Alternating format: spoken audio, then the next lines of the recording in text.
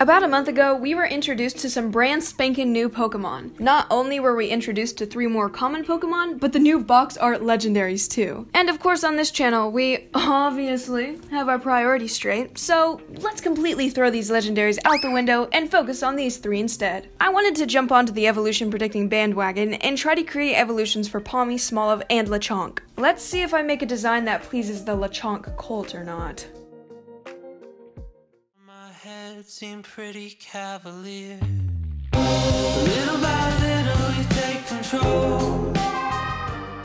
Hello, my friends. I'm Missy DoPop, but you can call me Missy if you'd like. As previously mentioned, I wanted to try and predict what Pawmi, Smoliv, and Lechonk might evolve into, if they evolve at all. Will Lechonk be bipedal? Will Pawmi be the first Pikachu clone to evolve? There are so many unanswered questions that I'm going to try to answer today. I do want to give a disclaimer that these are really half what I want these Pokemon to evolve into, and half of what I think will actually happen. A nice mix of predictions and hopes and wishes that'll probably never be fulfilled. I wanted to start this video off with my predictions for Smoliv. I posted a community post asking what direction you guys thought these hypothetical evolutions might go, and most of you agreed with me on the fact that this anxious little olive was gonna grow up to be.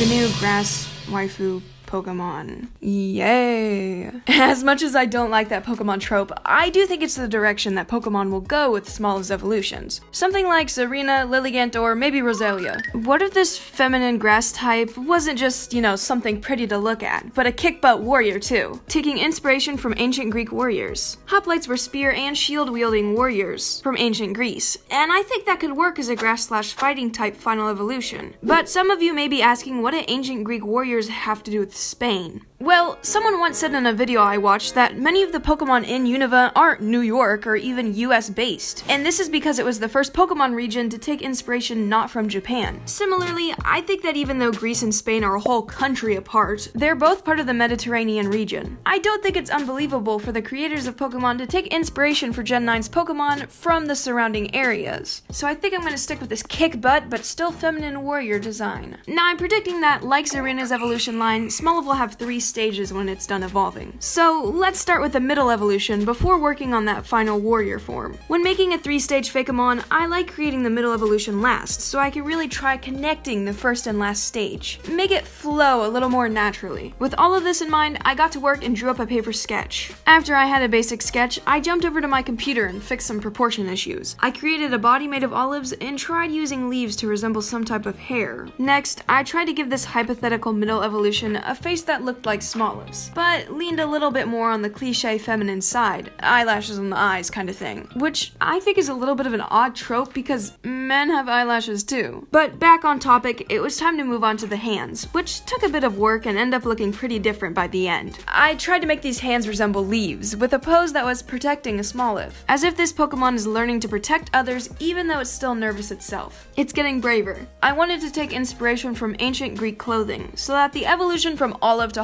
hoplite flows a little better, but it's hard to incorporate clothing into Pokemon designs. I tried adding something like this piece of cloth that I saw in multiple Google images. I've been trying for like the last 15 minutes to figure out what this thing is called, so I think I'm just gonna have to accept defeat and realize I'm not gonna find it. We'll just have to call it the fabric thing, I guess. The hardest part about the fabric thing was figuring out how to make it drape across the body without just looking like clothes. I mess with it all throughout this sketch and even during the line art, so just ignore it for the time being. Now here I am trying to work all olive branches into the design. I try to have one tied across the chest, connecting the fabric thingy. I end up not liking this though and try a few different approaches before scrapping the idea completely. I decided to do another sketch layer now that I had the basics hashed out. In this final sketch, I changed the hands, trying to make them look less stiff, and tried changing the pose too. Eventually, I settled on a bit of a compromise, positioning the new hands in the old pose. After that, I used the olive branch idea from earlier and added a couple to the hair just to give it a little flair. Bars? What the heck, excuse me?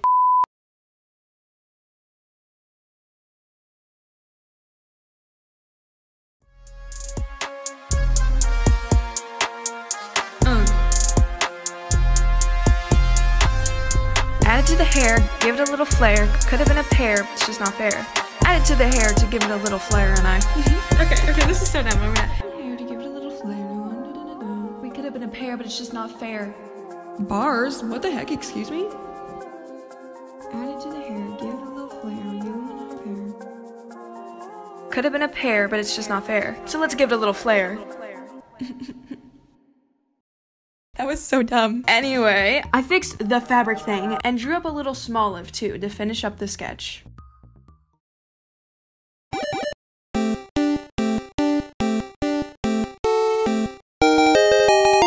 Congratulations! Your Smoliv has evolved. It's maintained the normal grass typing and the early bird ability. This Pokemon does its best to maintain peace amongst its friends. Often, it will step into fights, prompting each side to apologize, as if it's helping those around it extend an olive branch.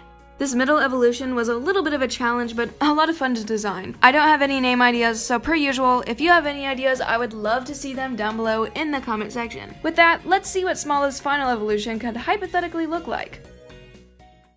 As previously mentioned, I really wanted this final evolution to go in an ancient warrior direction, but still keep that feminine grass type trope that Pokemon loves so much. I started thinking and doing research about ancient female warriors in particular, but I wasn't really coming up with anything because women didn't really take part in spear to spear conflict back in 700 BC. But that's when it hit me Athena. For those of you who may not know, Athena is the Greek goddess of warfare and wisdom. She's a tactical fighter who also happens to be one of the most famous Greek warriors of all time And the cherry on top is that according to Greek mythology, Athena created olive trees. A competition arose between Poseidon and Athena when both wanted to protect the city of Athens. To settle this dispute, the king of Athens suggested they both present a gift, and whichever gift was favored by the people would become the protector. Poseidon offered a spring of salty water, showing off his ocean controlling abilities. Athena created an olive tree, a gift that represented peace. As you may be able to guess, Athena won and Athens was named after her. So I think that an olive based Athena inspired Pokemon Pokemon would be the perfect final evolution for Smoliv. And after looking back at the comments and the community post I mentioned earlier, I realized that Honeyboy had this same idea. Sorry if I said your name wrong. And that sealed the deal. It was time to get to designing. Just like with the middle evolution, I started with a paper sketch first, but this sketch was a little more fleshed out and finished. I end up not changing this design very much from the sketch, but I'll fill you guys in on the details. I drew up another olive body, this time one with longer legs. I gave it a bit of a hairstyle made out of that leaf stem stuff, just like Smoliv in the middle evolution have. The hair is tied up into a ponytail out of the way for battle. Then I moved on to making a cloak out of olive branch leaves. Olive tree leaves are a bit slender when compared to other types of leaves, and I wanted to incorporate this uniqueness into the design somehow. So I gave this evolution a leaf cloak. Next, I gave it some leaf hands like the middle evolution had, but I wanted these hands in particular to look more like olive branch leaves. One of these leaf hands is wrapped around a spear. I wanted to include a spear in this design because of Athena's use of her spear and the olive story, and to reference the fact that hoplites typically use spears in battle. I imagine that the sharp bit of the spear is actually made up of a thorn. Russian olive trees spout long, thin thorns on their branches, which fend off animals from sprouting olives. The perfect natural weapon to be incorporated into this design. Then I added some olive branches wrapped around this Pokemon's body. I wanted them to look a bit like natural, but still fancy jewelry. After finally sketching something I was satisfied with, I moved back up to the head and worked on that ponytail some more. The Pokemon Scarlet and Violet website states that Smoliv will shoot out olive oil when startled, and I'm guessing that's out of the top of its head here. I wanted to take this a step further and give my final evolution a constant stream of olive oil. Maybe this oil is hot, and this Pokemon whips its head around in battle to attack foes with its hair. Most of the minor changes I made were during the line art stage, just trying to make it look less clunky and more symmetrical in design. I also had to make a very important decision during this line art stage. After extensive research, I came to the realization that most of the grass type feminine Pokemon don't have mouths. Do mouths like take away from the appeal or something? Why are they not included? Are mouths ugly? Am I just learning this? Whatever the case, I had originally planned not to include a mouth in this design either, but the face just looked empty without one. I'm realizing now I could have fixed this by moving the eyes or making them bigger, but at the time I didn't think of either of these solutions. Instead, I tried out a couple of different mouths and jokingly drew up these kissy lips. It was only a funny placeholder at the time, but they started to grow on me. So I asked you guys over on Instagram what you thought no mouth or kissy lips? And the majority of you guys thought that kissy lips were the way to go, so that settled that. After the great kissy lip debate, it was coloring time. I tried out a lot of different color combinations, trying different greens, purples, reds, and browns. I eventually settled on this green and this red purple, feeling that using different colored olives would spice up the design a bit.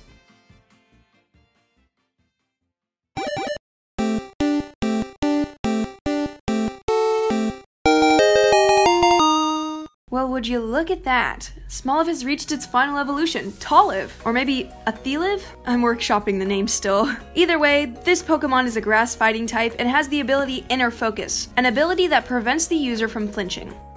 This Pokemon spends its time looking over the local Pokemon. It tries to settle any fights that break out and dedicates itself to protecting smaller Pokemon from larger foes and fighting off bullies. I had a lot of fun creating the rest of Smoliv's evolution line, and learning about Athena and the supposed origins of olives. Would you have taken a different approach to designing Smoliv's evolutions? Feel free to let me know down below in the comments. But don't go anywhere yet, because it's time to move on from Smoliv's hypothetical evolutions to Pawmi's. It seems that Pawmi is the Pika clone of Generation 9, Ninea. And because of this, many think it won't be evolving. The only Pika clone in the past that has evolved is Marill. I don't even know if those count as Pika clones or not. When asking my community what they thought of Pawmi evolving, many of them predicted it won't, but are open to the idea. I think an evolution for this cute chubster would benefit it a lot. I don't think I've ever really used a Pika clone on my team during any playthrough of any Pokemon game, and if I have, it was only on my team as a placeholder. I really enjoy Pokemon that evolve, because it feels like they're growing up alongside you during your journey. But these Pika clones, they're one stage Pokemon, many of which are very cute, don't get me wrong, but they just don't appeal to me. I'd rather replace them with a cooler, evolving, or even just plain stronger team member. So, long story short, I hope that Pawmi does evolve. It just makes more sense to me that Pika clones would evolve anyway, because Pikachu evolves. But I don't know, I don't speak for the whole fan base. Maybe some people prefer these single stage electric rodents. Let me know your thoughts down below in the comments. Speaking of which, someone in the comments said they predict Pawmi to evolve into an electric fire type, and I totally agree with that. From the moment I saw this little guy, it gave me fire vibes. Maybe it's the little hair tuft here, or just the darker orange color. If Pawmi's evolution did embrace this fire typing, it would be the first electric type that's not an alternate form. But how could I, and hypothetically Game Freak, connect an electric chinchilla mouse to fire? Maybe something about electricity sparks leading to fire? I knew that Pug Waffles and I couldn't be the only ones who thought that Pommy would grow up to be a fire spitting lightning master.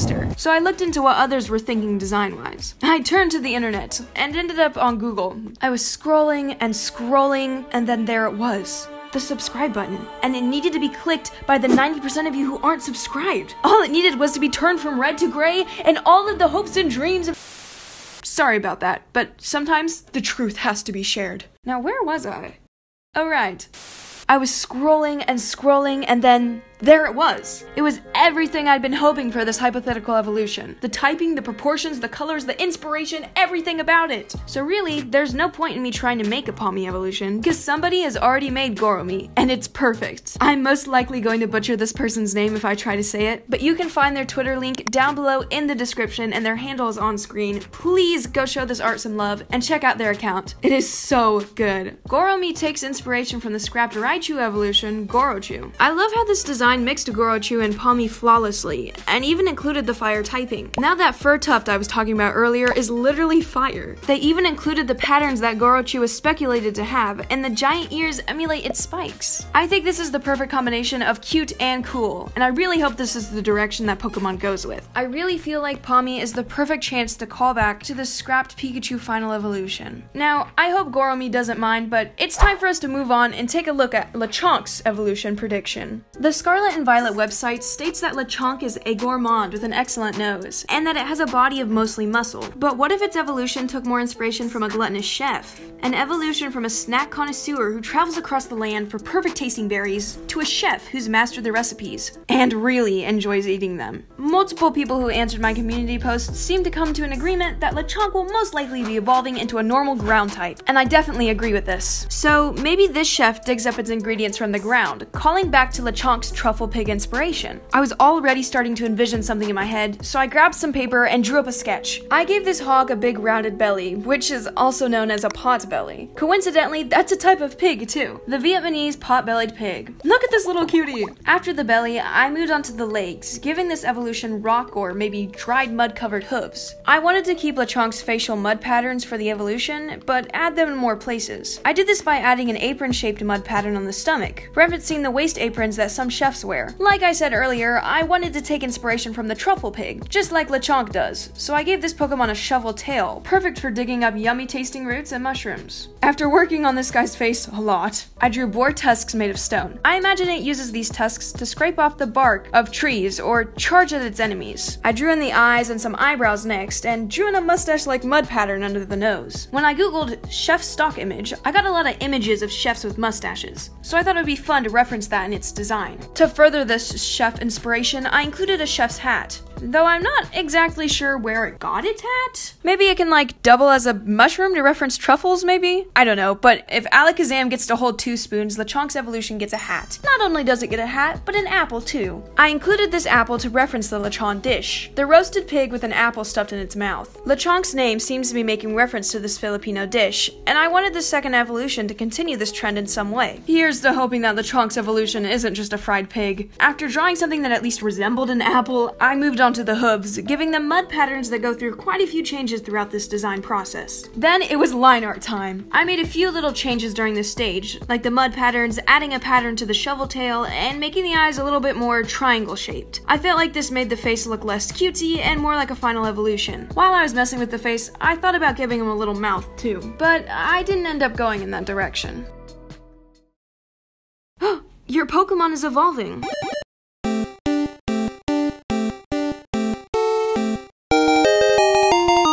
Congratulations! Your Lechonk evolved into Bormond, a name made up of the words boar and gourmand. It's now a normal ground type, but maintains the aroma veil slash gluttony ability. This Pokemon uses its nose to find the perfect ingredients. It then digs those ingredients up, making delicious meals for itself and those around it. The only downside is that Bormon never washes its hands. I, uh, I guess the no hand washing can add a little flavor? Maybe?